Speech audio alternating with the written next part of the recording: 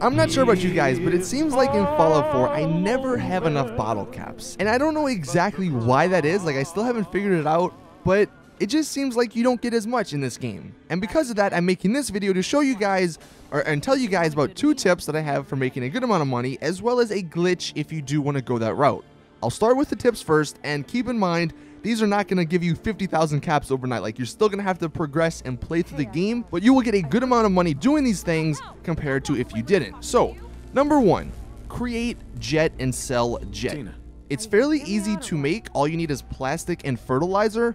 Plastic, you can find that pretty much all around the map. And fertilizer, if you actually go to the Abernathy farm, which I'll show here on the map, you can get it from there. There's a few bags lying in their house. You're going to have to steal it. Or if you want to complete their mission or their quest, you can actually get it from their workbench for free. You can also buy it from the lady there if you want to, but again, if you're going to buy it, then you're going to be getting less money in the end. Once you have that fertilizer and once you have plastic, go to a crafting station for the chems and create the jet. You can make as many as you want, and what you can do is sell this. Now, I will say, if you sell this to a regular vendor, you're not going to get that much. You're still going to make a decent profit.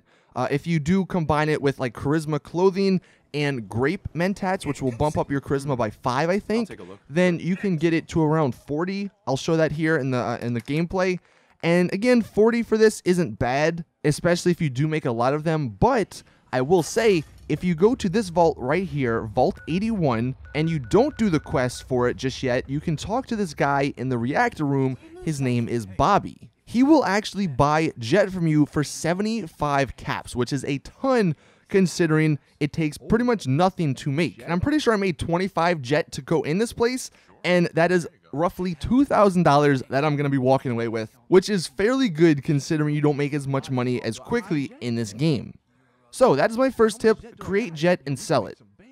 My next tip, and this one may seem pretty obvious, but I don't know, many people may not do this and they may have a ton of ammo in their inventory that they're not using. So, this tip is to get the Scrounger perk. You have to have luck 2 and what this perk will allow you to do is find more ammo in containers in the wasteland. There is a luck 1 perk which will allow you to find more bottle caps, but I would honestly suggest that the Scrounger one where you find more ammo is more useful because ammo 1 it can be sold, but it also can be used in your guns and I'm not gonna lie, once I got this perk, there was a significant increase in the amount of ammo I found in containers. And what you can actually do with this ammo, obviously, two things. You can use it if you have a gun that needs it, or if you don't have a gun that needs it. Like for me, I think I'm gonna go ahead and sell my 38 ammo, my 5 millimeter ammo, and the 556 ammo, and I will make a pretty decent profit. And again, if you go around playing the game, you loot all the chests and everything, you will get, you know, upwards of 500, 600 ammo for a certain thing. If you have a better gun that doesn't use that ammo, sell it all because you're literally just wasting it in your inventory. And this has helped me out a lot of times when a trader has a really good gun that's say three or four thousand dollars, but I don't have enough money. I can sell all my ammo pretty much that I'm not using if I have a lot of it, and it will bump the price down. It's pretty much free money that you also get ammo for for your regular guns. So, I mean, it's really a win-win situation.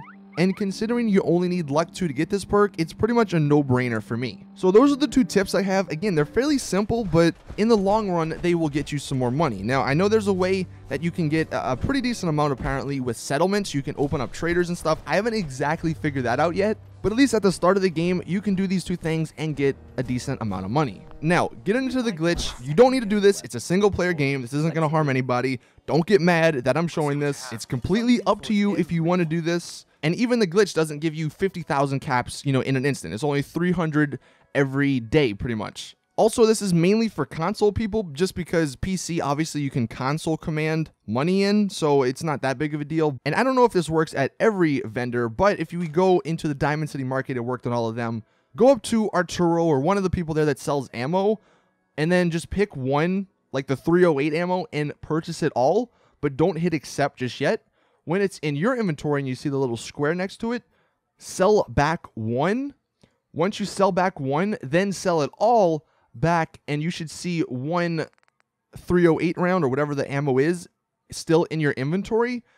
And that is the glitched ammo, and then you can just sell that one over and over again until the guy runs out of money. Now, what you can do is actually wait 24 hours and his money should reset and you can redo this again.